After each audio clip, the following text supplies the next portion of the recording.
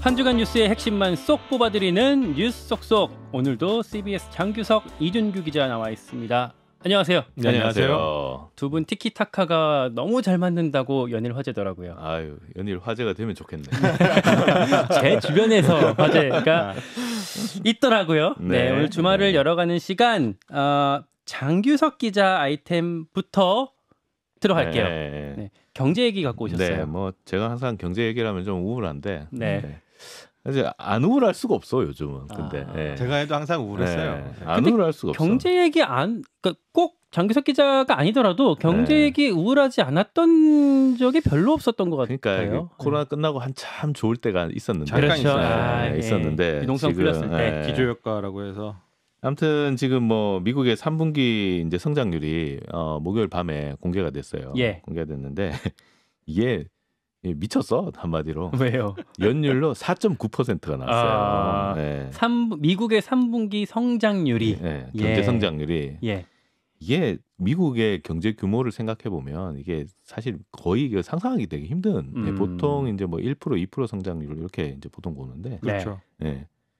연율로 4.9% 이게 이제 그 분기별로 따지면 1점인데 예. 어, 이게 어떤 뜻이냐면 어 3분기 성장률을 통으로 1년 내내 성장했다고 봤을 때 4.9% 정도 된다. 이런 정도 이해를 하시면 돼요. 그러니까, 그러니까 곱하기 4를 했을 때 어, 예. 그러니까 하여튼 그런 느낌이에요. 예. 그러니까 얘네들이 3분기에 이런 정도로 성장을 했는데 이걸 1년으로 쫙 늘리면 4.9 정도 된다 이건데 아, 네. 이게 진짜 말도 안 미국 성장률이 게 4%가 나오면 이거 뭐 거의 뭐 중국 정도까지 지금 어, 중국을. 넘어설 수도 예. 있는 수준인데다가 이게 한국하고 비교를 해봐. 왜냐면 네. 우리나라는 우리 여기 우리 우린 여기서 살고 있으니까 두 배예요, 두 배. 네. 미국 경제 규모가 우리나라보다 훨씬 큰데 네.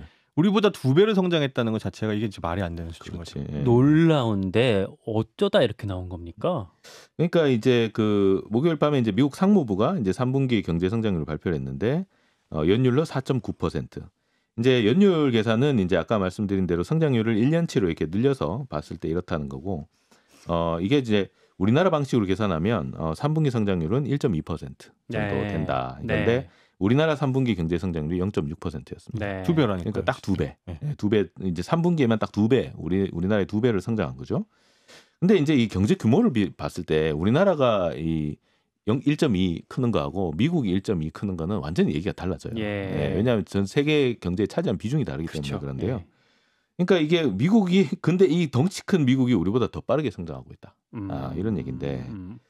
좀 뭐 이게 처음 오랜만에 듣는 얘기기도 하고 좀 낯설기도 하고 우리가 항상 보면 성장률이 항상 빠른 나라였잖아요. 그- 근데 예. 금리랑 연결돼 있다. 음. 뭐 이런 분석이 있던데. 그러니까 이게 이제 좀 원래 이제 미국 그게 뭐 경제가 성장한다 이런 뉴스는 사실 좋은 뉴스잖아요. 그렇죠. 예. 근데 이게 이제 약간 이제 악재가 되는 약간 좀 우프다 뭐 이렇게 얘기할 수도 있는데 예. 어 근데 이게 악재가 되는 이유가 금리하고 연결돼 있기 때문에 네, 말씀하신 대로. 예. 이제 미국의 그 중앙은행 연방 준비 제도가 네. 1년에 한 8번 정도 금리를 결정을 합니다. 네. 어 근데 이제 미국의 그 인플레이션 그러니까 이제 물가 상승률 얘기를 하면 어 작년에 이제 한 6월쯤에 물가 상승률이 8.9% 거의 9%까지 네. 9%까지 올라갔어요. 물가가 너무 빨리 올라가면 어떻게 되니까 되냐니까 이제 미국의 친구들한테 얘기를 들어봐도 어 소고기 값이 두 배가 뛰었어. 뭐 이런 수준이 되는 거죠. 예. 미국이 소고기가 싼데 우리나라보다 음, 훨씬. 그러니까 가격이 거의 두 배 뛰는 거죠, 두 배. 옛날에 비해서. 이게 이렇게 되니까 어 8.9%다 하지만 사실 체감되는 건 거의 두 배 이상 뛴 거예요. 사실 음. 우리도 지금 생각해 보면 지금 만 원 갖고 나가 갖고 점심 먹으면 먹을 수 있을지 한 사실 못사 먹어요. 네. 불분명하고 옛날에는 원래 만 원 갖고 나가면 점심 사 먹고 커피까지 예, 음. 가능했는데 지금은 뭐 이걸 갖고 밥을 한 그릇 먹기도 사실 좀 벅찬 저가 커피숍을. 예. 가도 못 사 먹어요.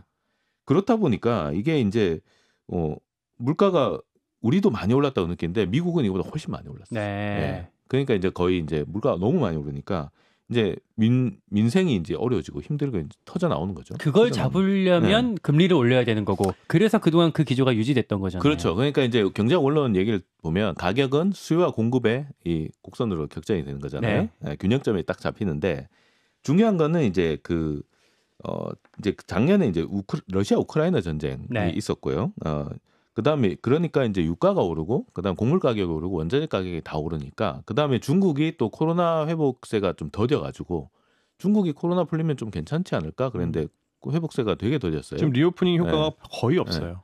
그러니까 이게 문제가 어디서 생기냐면 공급에서 문제가 생깁니다. 음. 네. 근데 공급이 줄어들면 가격이 올라가잖아요. 올라가죠. 네. 예. 그럼 이 가격을 낮추려면 결국 수요를 잡아야 되거든요. 예. 네.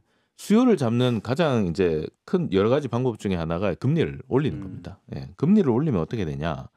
이자가 올라가니까 돈을 빌려다가 뭘 사, 사던 이 관행이 이제 힘들어지는 거죠. 네. 왜냐하면 내가 돈을 빌리면 이자를 더 많이 내야 되고, 네. 그 다음에 돈이 여윳돈이 생기면 뭘 쓰기보다는 이제 저축을 저축을, 하는. 게 훨씬 유리해지니까 저축을 하게 되고 이러니까 어 내가 이제 돈을 쓰는 게 이제 줄어들죠. 그러니까 수요가 줄어들면 다시 가격이 떨어지죠.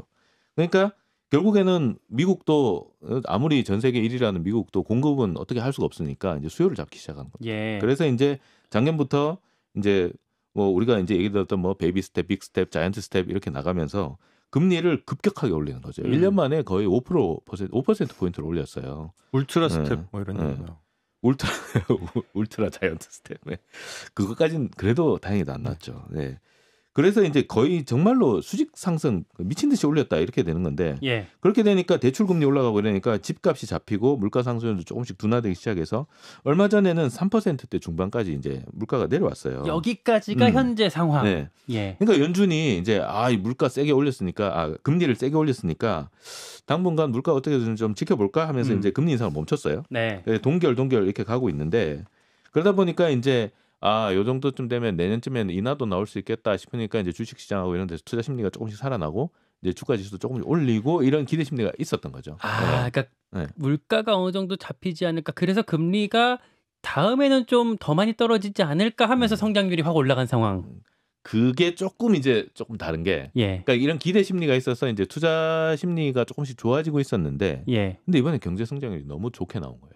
아, 오히려 어. 바- 아, 안 기대는 좋게 했지만 나오기를 바랬던 거야 다들. 아. 네, 그러니까 지금 뭐 실업률이건 경제 성장률이건 발표가 되면 제발 좀 안 좋게 나와라 이러고 있는 거예요 다들. 어. 아. 근데 미국 지금 그게 다 좋아요. 예. 그게 다 그러니까 좋습니다. 근데 너무 좋아. 근데 이제 그 금리를 이제 지금 사실상 이제 동결을 했고 이게 인하로 가려면 조건이 있습니다. 연준에서 조건을 밝혔는데 물가가 어 그러니까 인플레이션이 2%대로 내려와야 된다. 아, 이거예요. 이게 이제 뭐 이게 뭐 2%가 뭐 왜 맨날 2%냐.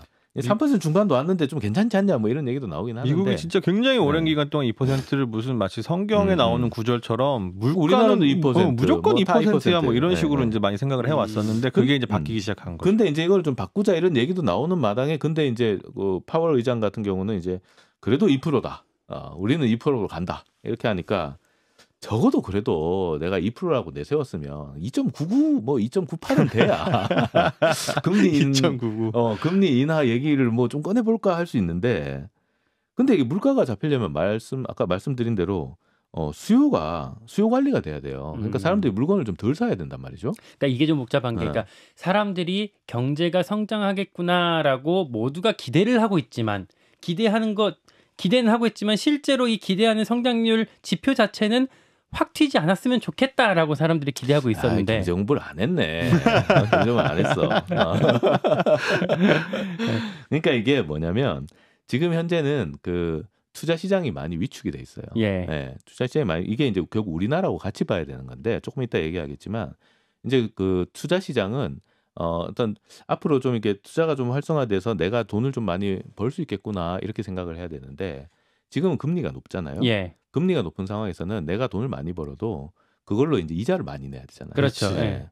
그렇기 때문에 내가 사실 버는 게 별로 없어. 음. 그러다 보니까 투자자들은 기본적으로 금리가 낮아지길 바래요. 음. 그다음에 미국의 지금 경제 성장을 이끌고 있는 이제 빅테크라고 하죠. 우리가 보통 IT 산업. 예. IT 산업들은 기본적으로 미래 성장의 그 가치를 보고 이제 투자를 하게 음. 되거든요. 사실 근데 현재는 수익을 많이 내지 않는 기업들도 많아요. 음. 네.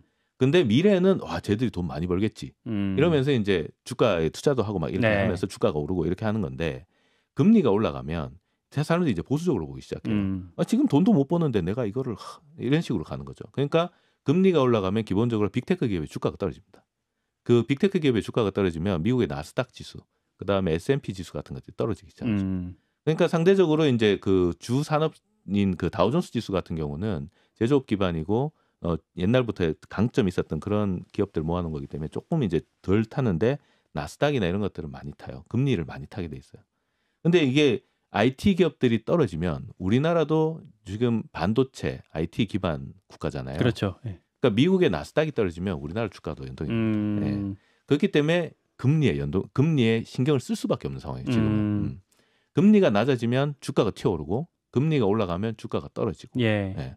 그렇기 때문에 투자자들이나 이제 전체적인 이제 신흥국 같은 시장들은 어 금리가 낮아져서 좀 주가도 오르고 투자 자금이 좀 우리나라로 들어오기를 바라는 그런 상황인데요. 네. 근데 지금 이제 금리가 높아지게 되면 어 그 금리는 저 돈은 금리가 높은 쪽으로 가게 돼 있잖아요. 그렇죠. 네. 근데 미국의 금리가 올라가면 어떻게 되겠어요? 우리나라에서 빠지겠죠. 미국으로 달러가 빠져나가. 예. 지금도 네. 2% 포인트 차이 나간단 네. 말이에요. 이게 그런- 엄청난 차이거든요. 그러니까 사실은 이제 그 돈이 빠져나가면 경제가 수축될 수밖에 없어요. 음. 그 다음에 투자도 수축될 수밖에 없고. 그러니까 우리나라의 네. 문제이기도 하다라는 우리나라의 문제이기도 거죠? 하고 예. 미국의 빅테크 기업도 똑같은 논리를 예. 보시면 돼요. 예. 근데 미국의 빅테크 기업이 미국의 경제 성장을 견인하고 있는. 음. 예. 그렇기 때문에 지금 약간 이제 양 약간 이제 IT 기업과 전통 시저 전통 기업들 간의 이제 양극화 같은 것들이 일어나고 있긴 한데 음. 미국 시장에서는 이제 결국 미국은 조금 그래도 견딜 체력이 있어요. 예. 네. 왜냐하면 경제 성장률을 받쳐주니까. 그렇죠. 예. 예. 근데 문제는 이제 우리나라로 옵니다. 음. 예. 맨날 우리나라만 이렇게 예. 어, 미국이 출렁거릴 때마다 우리가 걱- 걱정이에요. 우리가 우리가 예. 사는 나라니까. 네. 어, 왜냐하면. 미국은 기본적으로 아까 이제 경제 성장률하고 이제 좀 설명을 드리자면 경제 성장률을 쪼개 보면 경제 성장률 안에는 그 내수와 수출이 있습니다. 예. 예. 근데 미국 같은 경우는 내수 중심의 시장이에요. 그렇죠. 예. 수출보다는 내수로 크는 시장이기 때문에 내수가 일단 커지면 경제가 성장하게 돼 있어요.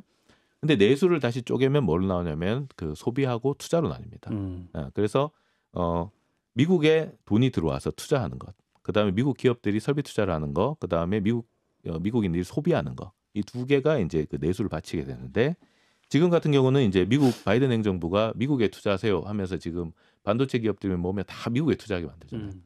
그러니까 돈이 미국으로 들어, 들어오기도 하고 있고, 그 다음에 미국의 이제 그 노동 시장이 지금 실업률이 4%가 안 돼요. 예. 미국의 기본적으로 실업률이 4% 미만이면 완전 고용 상태라고 봅니다. 그렇죠. 예. 예. 완전 고용 상태가 되면 어, 사람을 구하기 힘들잖아요. 음. 그러니까 임금을 많이 줘야 되고 그러다 보니까 구매력이 올라가게 됩니다. 그러니까 이게 그 물가도 오르지만 사실 임금도 같이 오르면서 소비가 줄어들지가 않는 거예요. 음. 네, 소비가 오히려 성장하게 되죠. 예. 그러니까 어, 물가는 떨어지기 힘들고 어, 그다음에 사람들은 물건을 사려고 하니까 물가는 떨어지기 힘들고 오히려 올라갈 가능성이 더 커지니까 연준이 다 봤을 때 아 이거 또 올려야 되나? 음. 이렇게 되는 거죠. 오히려 네. 반대로. 그러면 음. 다시 그 금리를 이제 그러면 연준이 금리를 올리겠습니다. 하면 어떻게 되냐면 빅테크 기업의 주가가 떨어지고 투자자들의 심리가 위- 냉각되고 그다음에 모든 신흥국에 가 있던 우리 아. 우리나라를 비롯한 신흥국에 가 있던 돈이 미국으로 또 다시. 들어가게 되고 예. 그렇게 되는 겁니다. 그렇기 때문에 이게 이제 경제 성장률이 우리한테는 악재가 된다. 아, 이렇게 볼수 음. 있는 건데 그러니까 지금 아까 이제 그 이준규 기자가 얘기했지만 우리나라는 기준금리가 지금 3.5%예요. 예. 예.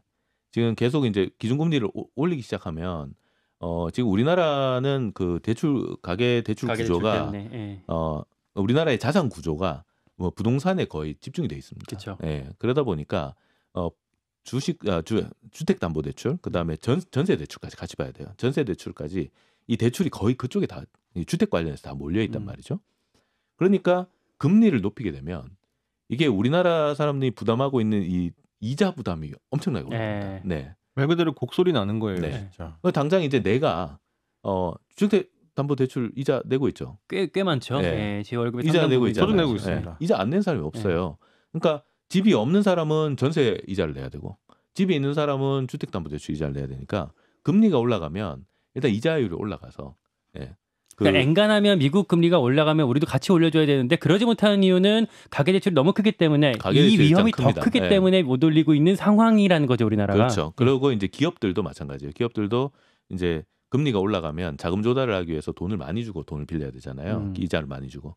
그러면은 돈 땡기기가 힘들어요. 음. 그러면은 돈 땡기기 힘들면 어떻게 하면 투자를 줄입니다. 예. 투자를 줄이고 그다음에 이제 물건을 덜 찍어내겠죠.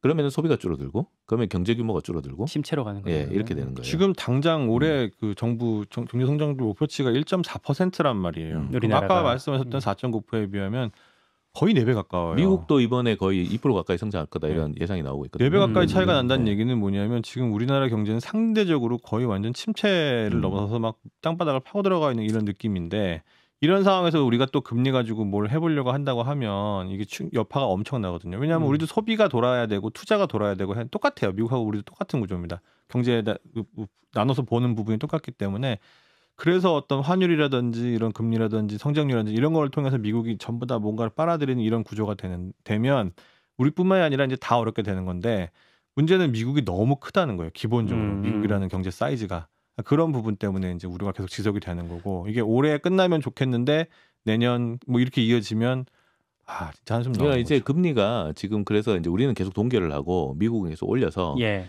지금 미국은 그 5%대를 넘었어요. 예. 지금 기준금리가. 근데 우리는 3.5거든요. 그러니까 저 금리 상단으로 치면 거의 2% 포인트 차이가 납니다. 음. 그러면은 그 어떤 일이 생기게 되냐면 돈은 이자를 쫓게 돼 있어요. 그렇죠. 그래서 달러는 어, 미국으로 가게 돼 있습니다. 음. 우리나라에서. 음. 그러니까 달러가 지금 빠져나갈 환경이 지금 조성이 돼 있는 상황이고요. 조금이라도 한국이 위험하겠다 싶으면 돈을 뺍니다. 음. 실제로 목요일 날 이제 그 주가 지수가 2,300 아래로 떨어졌거든요. 예. 떨어졌는데 이게 이제 외국인이 그날 한 저기 4천억 원어치를 팔았어요. 음. 그러니까 주가가 급락을 하게 되는 거죠. 예. 음. 그러니까 달러가 계속 빠져나가는 현상 이런 것들이 이제 계속 나타나게 되면 어 나중에 이제 달러가 고갈되는 그 달러가 고갈돼서 발생하는 게 IMF라는 그렇죠. 예. 그러니까 그런 상태가 또 다시 올 수 있는 가능성이 있다. 깜깜한데 암울한데 음. 어떻게 해야 되나요 그러면 앞으로? 그러니까 근데 이제 중요한 거는 우리나라가 할 수 있는 게 별로 없어요. 네. 네. 왜냐하면 우리나라는 대외 의존도가 대단히 높습니다. 왜냐 네. 왜냐하면 미국 같은 경우는 내수 중심 국가이기 때문에 어, 안에서 경기를 부양시키고 뭘 한- 하면은 다시 경기를 올릴 수 있지만 우리나라는 수출 중심이라 대내 대외 환경에 되게 이렇게 음. 민감하단 말이에요. 근데 지금 중국이 지금 성장률이 별로 안 올라가고 있고 그 다음에 이제 미국이 중국을 계속 이제 어, 기술 유출해낸 걸로 이제 차단을 하고 있잖아요. 반도체법 이런 걸로 예. 해가지고 그래서 지금 중국도 지금 성장하기 되게 힘든 상황인데 우리나라는 중국하고 경제가 거의 연동이 돼 있어요. 예. 중국이 지금 침체니까 우리나라 침체고 그렇다고 미국이 좀 잘 되면은 좋으냐? 근데 미국이 경제 성장률이 높아지면 미국이 잘 되면 금리가 올라갈 가능성이 있기 때문에 그러니까요. 금리 네. 역전 현상이 더 커지게 되면 여기서 또 달러 유출이 또 일어날 수 있어요. 그래서 되게 지금 힘든 상황인데 우리가 할 수 있는 일이 그렇게 많지가 않아요. 그 우리 말고 네. 외부 요인 혹은 뭐 음. 미국이나 중국이나 다른 주체가 할 수 있는 뭐 뭐 해결 방안 같은 게좀 네, 있을까요? 일단 우리가 할 수 있는 일은 가장 좋은 거는 어 일단은 어 금리 인상을 하지 않게 되는 미국의 요인들이 발생하기 좋겠지만 우리가 할 수 있는 일은 달러 수합입니다. 아 예. 네. 외환 미국- 보유고를 좀 어 미국에 있는 저기 그 미국하고 우리나라가 달러 수합 체결을 하면 어 달러를 어 미국 연방은행에다가 우리나라 원화를 주고 달러를 가져올 수 있어요. 이렇게 되면 거의 우리가 외환 보유고를 미국에 있는 그 재무부에서 그냥 가져오는 것 같이 음. 이런 현상이 발생하기 때문에 사실 그렇게 되면 달러가 안정이 됩니다. 그러니까 최악의 상황을 네. 막을 수 있는 방- 장치를 하나 둠으로써 근데 미국은 개별 국가하고는 달러 수합을 체결한 적이 거의 없습니다. 음, 정말 위험한 때가 아니면. 음, 그렇기 때문에 달러 수합 가능성이 있느냐 이 부분은 조금 이제 현실적으로. 예, 물음표가 있고요. 예. 그 다음에 그래서 이제 그런 부분에서 좀 외교력을 좀 어떻게 할 수 있지 않을까 이런 부분에 기대를 해봐야 되는데 지금으로서는 좀 지금 현재 이 외교력을 봤을 때는 노력을 봤을 때는 이게 가능할까 이런 음. 부분에서 조금 의문이 좀 있고요. 예. 그 다음에 이제 외부적으로 봤을 때는 이제 아까 수요를 관리하는 게 이제 금리라 그랬잖아요. 예. 수요가 안 되면 뭘 해야겠어요? 공급. 공급을 해야겠죠. 예. 공급을 하기 위해서 지금 미국하고 중국이 어, 어제도 외교장관 회담을 했습니다. 음. 예. 미국도 지금 발등에 불이거든요. 왜냐하면 공급을 늘려주지 않으면 금리만 높여가지고는 이게 이제 더 이상 관리가 안 되는 거예요. 지금 음. 그러다 보니까 어, 중국의 그동안 이제 트럼프 행정부 때부터 계속 관세를 계속 많이 고율 관세를 매겨왔단 말이에요. 예. 근데 관세를 해제해주게 되면 이게 가격이 다운된 효과가 생깁니다. 예. 예, 왜냐하면 제가 세금을 덜 내고 내가 물건을 살 수 있으니까 중국산 음, 물건을. 음. 그러니까 이게 이제 관세 협정으로까지 이어질 건가? 어, 음. 이걸 봐야 됩니다. 예. 그래서 지금 미중이 지금 이제 어떻게 보면 무역 전쟁을 좀 끝낼 기미가 있느냐 없느냐. 근데 중요한 거는 중국은 지금 반도체 반도체 규제를 풀어달라고 지금 얘기를 하고 있어요. 음. 예, 관세도 관세인데 반도체 규제를 풀어주세요. 그런데 미국은 사실 중국의 기술 패권을 억압을 하고 있거든요. 지금 얘네들을 가만 놔뒀다가는 우리 잡아먹겠다 싶으니까 제일 그 기술에서 가장 핵심 기술인 반도체 기술을 중국에 못 들어가게 막고 있어요. 그러니까 지금 꽉 막힌 상황을 해결할 수 있는 뭐 거의 유일한 돌파구는 사실 미중 양국의 어떤 갈등에 그러니까 중국이 공급을 늘리는 거죠. 예. 예, 그 대목인데 그게 어떻게 협상이 앞으로 이루어질지를 우리가 좀 주목해야 되겠죠. 이제 그걸 보면은 아마 앞으로 어떻게 해결해야 될지가 좀 보일 거고요. 그다음 두 번째는 에너지입니다. 기름값.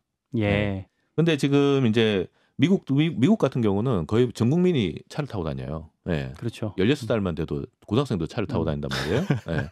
그러니까 이 기름값이 이 가게에서 차지하는 비중이 상당히 높아요. 음. 그렇기 때문에 기름값을 낮춰줘야 민심이 이반하지 않습니다. 음. 그렇기 때문에 어, 당장 이제 재선을 앞두고 있기 때문에 기름값을 안정시켜야 되거든요. 음. 그러다 보니까 지금 이제 사우디를 막 흔듭니다. 흔들어서 예, 빈살만 익은데 자꾸 나 중국하고 같이 갈 거야. 뭐 이러니까 이제 어, 바이든이 계속 이제 어? 끌어와서 이제 어, 원유 증산을 압박을 하고 그 다음에 지금 강력하게 지금 제재를 하고 있는 나라가 이란하고 베네수엘라인데 음. 이두 나라를 합치면 이 지금 전 세계에서 지금 원유를 생산하고 있는 그 보유고보다 훨씬 많아요. 얘네들이 갖고 있는 게. 음. 예. 그렇기 때문에 어 이쪽에 조금만 규제를 풀어줘도 원유가 확 풀릴 수가 있기 때문에 요 카드를 가지고 내가 좀 뭐 하면 풀어줄 수 있어 이렇게 얘기하면서 이제 어 다른 산유국들을 압박을 하는 거죠. 그러면서 이제 너네들 감산해봐야 소용없어 이렇게 하면서 이제 감산 감산을 못 하고 원유 가격을 못 올리게 지금 이제 하고 있는데 지금 이사, 이제 이스라엘이 파, 터졌어요. 터졌어. 예.